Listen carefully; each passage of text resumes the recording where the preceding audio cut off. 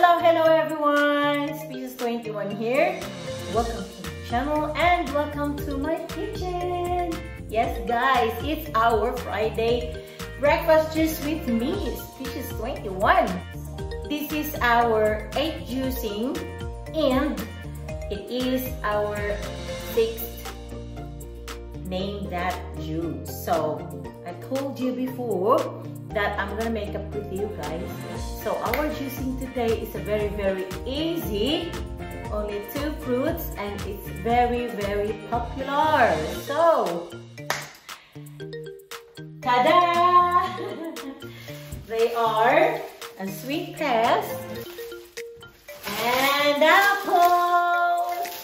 So I hope we've got a winner today guys. So, for recap, 200 Gcash and 200 Elo.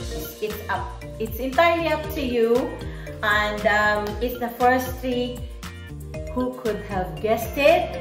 So, um, yeah, every an hour before my premiere, I will close it down uh, for your entry. When you saw my premiere, you have to guess it. For the people who knows already, well done and congratulations if we've got a winner today. So, without further ado, come on guys. Again, while I'm preparing, I'm gonna show you the goodness, the benefits, and the origin of the fruit that we are going to juice for today. So, come on.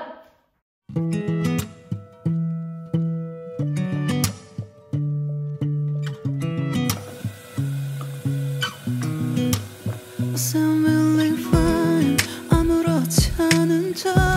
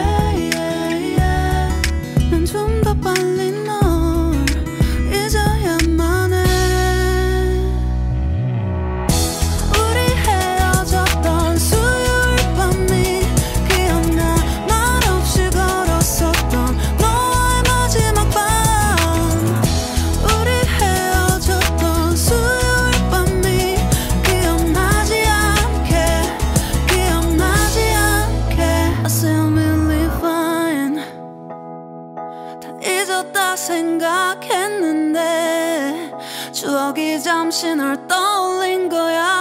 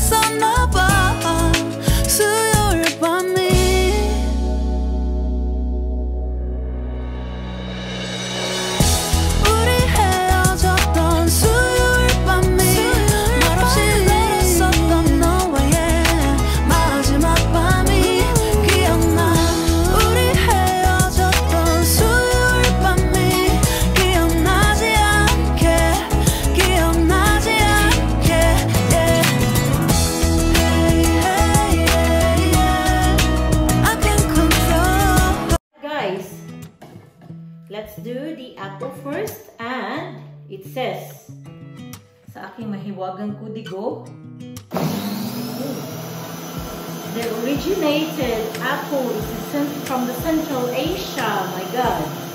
But we believe that it is the wild ancestor, Malus siversi, whatever is that. It is still found today. Apple has been grown for thousands of years in Asia and Europe and were brought to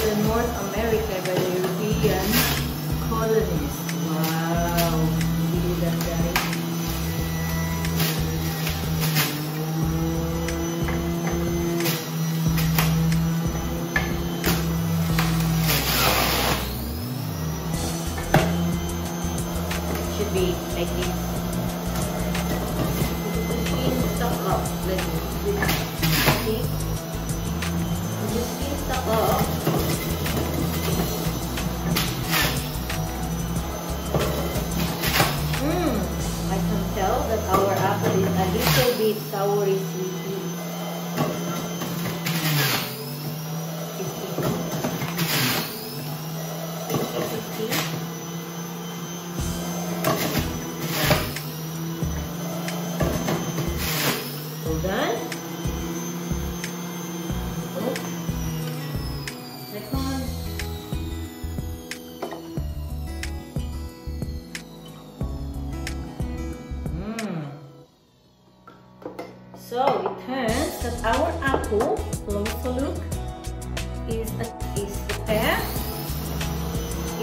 Here the pear is typical fruit temperate in region having its origin and domestication of two different points, China and Asia.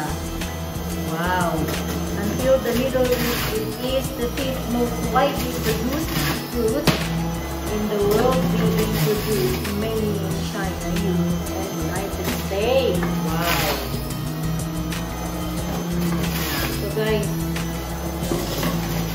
the first time I tried it, eh, when I was working in Rustan, in Saucedo Street, Saucedo Street in Makati City. I worked there as the, in the finance, oh, well, in, cash department, the treasury. They pay good. Well paid. 18 grand for for two weeks. And that was like 2003.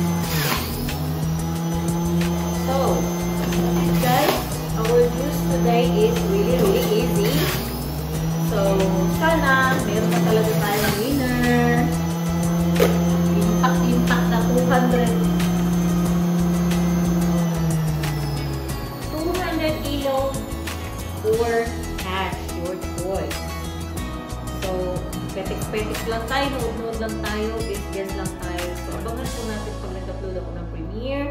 Saka po naka, nasa thumbnail po yung ating clue, yung kulay ng juice, number one. Second, ipipin ko po ang clue.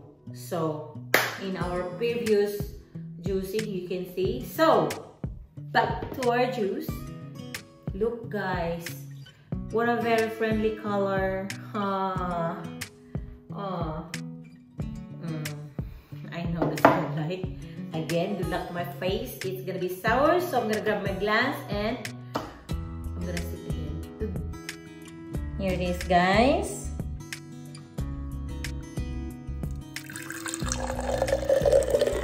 Marami pong vitamin to at saka kung nakita nyo kanina earlier while we prepare this, doon po nilagay yung ating makukuha. So, sana po ay huwag kayong ma pagod magbasa dahil wala po akong time baron.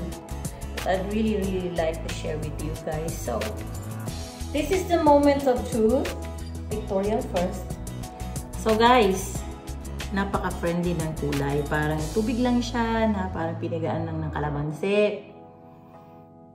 Maasim yung halimuyak. So good luck to us. Hindi ko lang uubusin guys ha. As I told you, magkasunod ko itong ginawa ang dalawang video ngayon at nung nakaraan. So, medyo busog pa po ako doon sa isa. There we go. Ha! Pwede ubusin ko na lang. It's really, really nice. Maasim siya, pero ang tamis.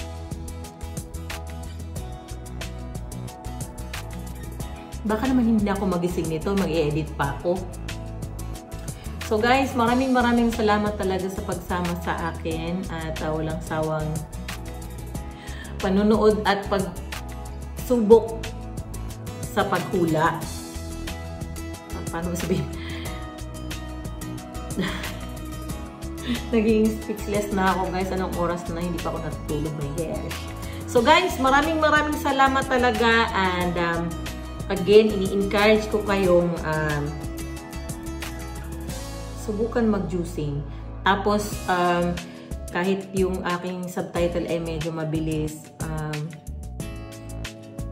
I encourage as well to na alamin po natin yung mga kinakain natin para kung mas nakakabuti sa atin, damihan natin. Pero pag hindi, kasi hindi lahat po ng prutas kasi may mga limitation yan per day, per, per serving, yung mga ganun. So, hindi rin po pwede pag so, moderate lang talaga sa lahat.